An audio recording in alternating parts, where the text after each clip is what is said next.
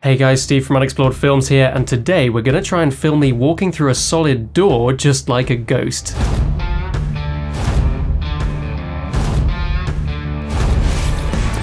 Today's video is sponsored by our friends at Artlist, a fantastic all-in-one music licensing site for all your video making needs, including all the music you can hear in this video. It offers unlimited downloads for a flat fee and one simple license. And if you sign up using the link below this video, you will get two extra months.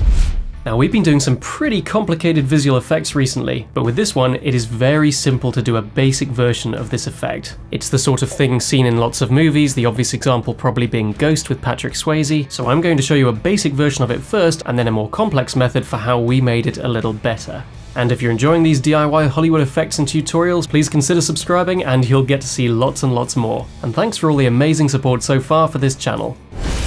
So to begin with, here's the most basic version of this effect. First, of course, you need to pick a doorway and set up a tripod in front of it and a green screen behind it, visible through the door. So we backlit our green screen with lights so that it would appear to be a fairly even colour. You've also got to leave enough space so that you can walk through the doorway and into the other room. And we deliberately lit this from the side so that the shadow would kind of serve as a marker for where the door should be. Next we filmed me miming touching the door and then slowly moving through it, looking like it was a difficult thing to do. You also need to get a simple empty shot of the door closed, and if you've been careful not to move the camera, these two shots should line up exactly on top of each other. So first, if you line up these two shots in your editing program, you can remove the green screen. If you're using Premiere, you can use the Ultra Key effect, and if you're using After Effects, you can use Keylight. We used After Effects, and to learn about using Keylight in more detail, check out some of our other tutorials, such as how to add yourself to movies. Once you've removed the green screen, this will create an empty gap. And now you can drop in your shot of the closed door behind it. To keep things simple, you can use the pen tool to cut off part of the shot of you reaching towards the door, and you can use everything up to the door frame from the original shot. And now you can also mask out the other half of the shot with the closed door, and use that half of the shot exactly as it is as well. You can now feather the edge down the middle of the screen around the point where the body should be moving through the door. So a basic straight edge looks okay, but you might want to use keyframes to change the shape of this line over time so that it looks like the door is kind of wrapping around you as you're moving through it. Now this might leave a bit of an issue where the door frame doesn't quite line up with the closed door, so you may have to do more masking or use the rotoscope tool to cut out the figure further and drop in the closed door layer again behind. If you're working in After Effects and you want the best rotoscope tool, you can install the beta version and use rotoscope 2. I actually still think it doesn't quite do as an amazing job as everyone seems to say, but that's another way of cutting yourself out, and in fact it could be a way of doing this whole effect without a green screen if you didn't have one. So your layers should now look like this. You've got the closed door layer sitting on top with the mask down the middle of the frame which changes over time, you've got the original shot of the figure on the right, and the middle part is the part that might have to be rotoscoped or have the green screen removed. And that right there is pretty much the most basic version of this effect possible. But if we want to, we can add one or two more things now to make it better. So the first thing to improve here is the shadow of the hand, which actually stops around the door frame because of course there wasn't a door there to cast a shadow on. So a good trick to create a new shadow is to duplicate the layer with the hand and drop it in behind. Then you can use the Lumetri color effect to turn the exposure right down, and you should also add a blur. Then if you realign this slightly behind the hand and turn the opacity down, it will of course move in the same way as the hand, and it will look like a shadow. Next we can add some effects to make this whole thing look a bit more ghostly and like the door is changing as I'm moving through it. So one way to do this is to add a new adjustment layer and then search for the turbulent displace effect and drop that in on top. This kind of makes everything look like you're seeing it through a swimming pool, and we also use this effect to distort the image in our Doctor Who regeneration tutorial. So if you want the animation to change over time, you can keyframe the evolution and it will change. And if you want this to only affect part of the image, because it's an adjustment layer, you can of course draw a mask around it using the pen tool and then feather it, and it will only affect the area underneath. Once again, we keyframed the position of this mask so that that changed over time as I moved through the door as well. Another effect you can try is the ripple effect. You can adjust the radius of the ripples and the position where they start from, so we simply lined up that on top of where the hand touches the door. So again, this was just another fun way of making it look like the door was changing as the figure moves through it. Now this effect is still pretty basic and there is one more trick that we tried to make this really look a lot better.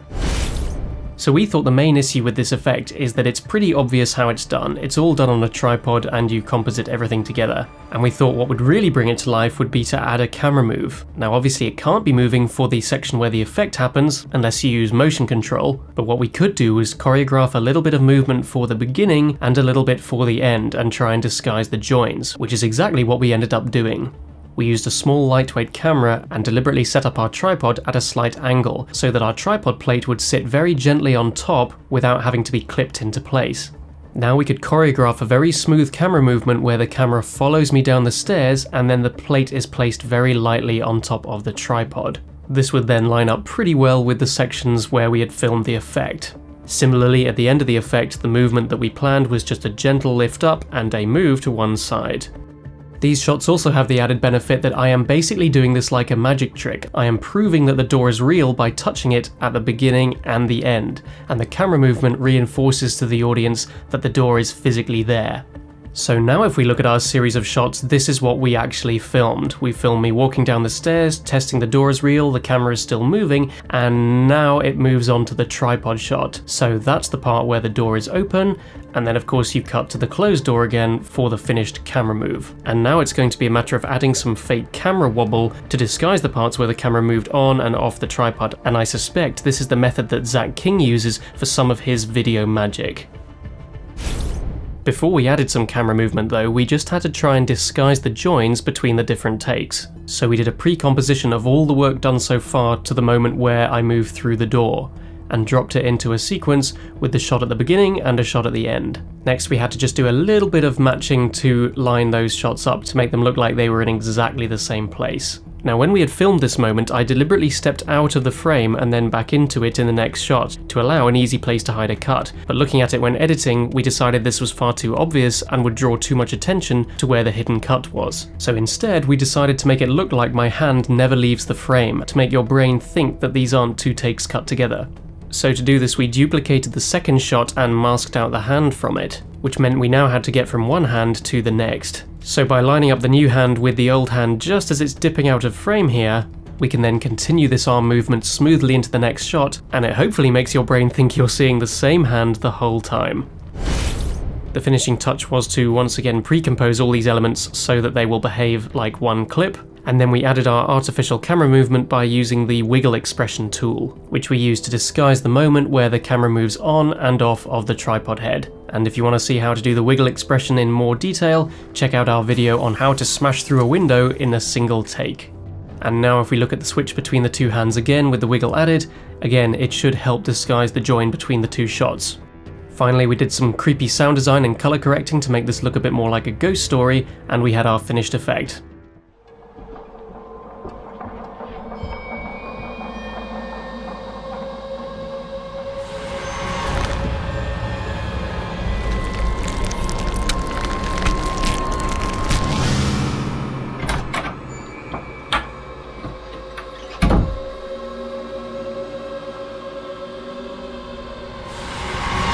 So that was our DIY method for recreating this effect from scratch, and why not drop a comment below about what Hollywood effect you would like to see recreated next. So guys, if you enjoyed that, check out the other effects and tutorials on the channel, and please consider subscribing. I've been Steve from Unexplored Films, and I'll see you next time.